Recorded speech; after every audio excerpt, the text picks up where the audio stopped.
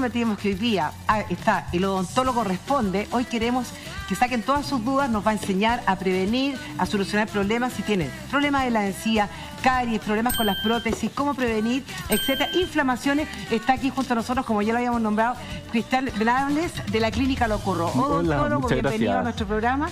Muchas gracias por la invitación. la tercera edad y cómo prevenir que se empiezan a sufrir tantos problemas eh, vocales.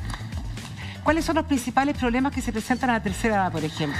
La sumatoria de todas las enfermedades sistémicas se manifiestan en la boca. Pero ¿En la boca? En la boca, la, mayoría. Diabetes, hipertensión, la enfermedad de Sergen, que es este síndrome de Sergen que genera sequedad bucal en los pacientes. Entonces los abuelitos de la tercera edad todas las enfermedades que del, sistema múltiple se empiezan a manifestar paulatinamente en boca. Siempre cuando lleguemos a la tercera edad, ya más ancianos, o sea, estamos más cerca de la vejez, haya avanzado la edad, vamos perdiendo la, humedad de nuestra boca.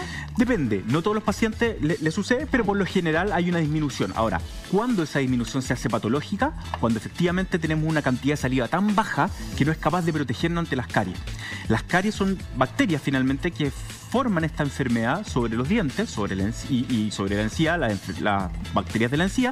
Y cuando yo no tengo una saliva suficiente para proteger mi boca, estas bacterias hacen de este terreno un desastre. Porque la, saliva no solamente es agua, que en su mayoría gran cantidad de agua, sino que además tiene muchas enzimas que protegen de las bacterias. Son defensas que tenemos en la saliva. Y por lo tanto, también pasa en los jóvenes. Hay jóvenes que tienen buena cantidad de saliva, pero que el sistema inmune no está muy desarrollado en la saliva. Entonces ahí lo estimulamos a alimentarse más sano, a hacer más deporte, porque el sistema inmunológico, como es un todo en el organismo, necesita equilibrarse. Y por eso que lo, eh, sobre todo la tercera edad, la alimentación es fundamental. Cristian, y con respecto a lo que estás mencionando, en la tercera edad hay alguna patología eh, recurrente o algunas que sea propicia de esa edad en la diabetes.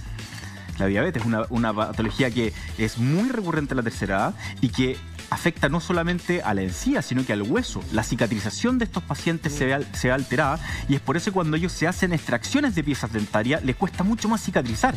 Cuando colocamos implantes les cuesta mucho más que ese implante se pegue en el hueso. Por lo tanto, cuando tenemos pacientes diabéticos tenemos que tener un cuidado extremo en la planificación de nuestros implantes para que el paciente tenga una buena acogida de estos implantes. Bien, muy bien. Hoy día vamos a estar hablando de la sequedad bucal, vamos a estar hablando de las prótesis, de la inflamación de la encía, de las infecciones de la encía, de las caries, etcétera. Pero quiero saber, o queremos saber, mejor no es personal. Todos, Todos queremos saber. ¿Por qué se secan la boca? ¿Por qué se seca la boca? Básicamente hay dos tipos. Uno que es patológico y uno que es en el fondo por un tema de degeneración de la glándula salival. Cuando, cuando vamos envejeciendo, todas las glándulas exocrinas del cuerpo, las glándulas que secretan secreciones, van degenerando por un tema de uso, por un tema ya de vejez.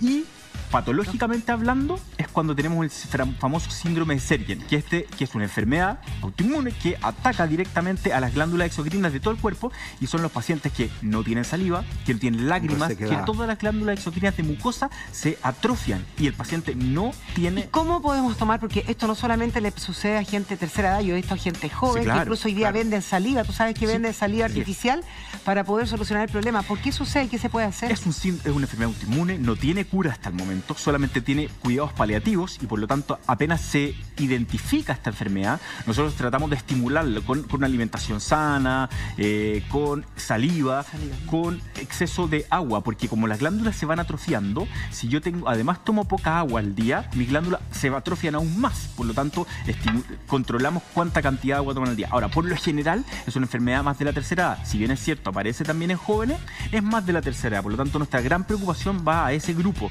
porque los jóvenes disminuye, pero no es a cero pero pacientes de la tercera edad disminuye muchas veces a cero. Y ahí las caries se forman en cosas de... Eso es lo que te iba a preguntar, o sea, el impacto que tiene eh, el tener la boca seca es propicia enormemente a que se generen muchas más caries. Claro, porque no hay una protección. La, primera barrera de protección es la saliva y no está. Y por lo tanto el diente, cualquier resto de alimento, se queda pegado. La saliva actúa como un antiadherente. Por lo tanto, cuando el diente está seco, me como una manzana, una caluga y eso va a quedar pegado ahí y nada, la lengua está seca. Por lo tanto, no hay una adherencia. Y es por eso que el paciente no se puede retirar eh, los restos de alimento y eso genera que se forme caries. Es terrible.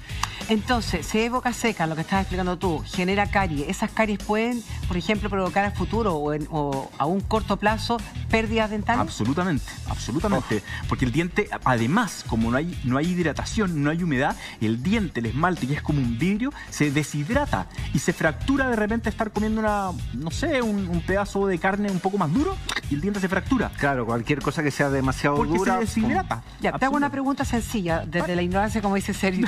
si, si sé que tengo este problema y rápidamente como y me lavo los dientes, ¿podría evitar o aún así? Ayuda ah, ¿Se puede? Claro, ¿Ayuda? Claro, ayuda. O sea, finalmente eh, lo que nosotros tratamos de eh, inculcarle al paciente cuando ya tiene este síndrome instalado es, uno, una higiene extraordinaria. Después de cada comida, higiene. Ya sea con cepillo, pasta, dientes. Bueno, pero eso lo tenga o no lo tenga, porque la higiene es sí, fundamental. Claro, pero es que hay pacientes... que hay más, más, es, es extremadamente... Pues lo que pasa es que... El, porque veamos la realidad de nuestro país. Cuando uno le hace la, entrevista, la anamnesia de los pacientes, ¿cuántas veces se lava el diente los días? ¿Cuánto cree que es el promedio en nuestro país? Una. Una, con suerte. Una y media. Una y media. Ah, en la mañana y en la noche. Está bien, una y media. Pero, pero ¿cuántas veces comemos al día? No 3, 4, 5, 6, 8. Exacto, entonces, ¿cómo lo estimulamos? Le ayudamos. Lamentablemente, estos pacientes, como no tienen salida, tampoco le puedo recomendar goma de mascar o chicle, porque se les quedan pegados en sus prótesis. Pensé que podían. No. Que les producía más salida. Claro, no tienen. Es que cuando no, tienen, cuando ya se atrofió, no hay, no hay. nada. Es solamente salida artificial. Entonces, ¿qué es lo que recomendamos? Hay pastas especiales para ello que son extremadamente fluoradas para que se laven con esta pasta, se enjuaguen y luego saliva artificial. La saliva mantiene humedad. Al mantener humedad, mantiene el diente hidratado, que es fundamental.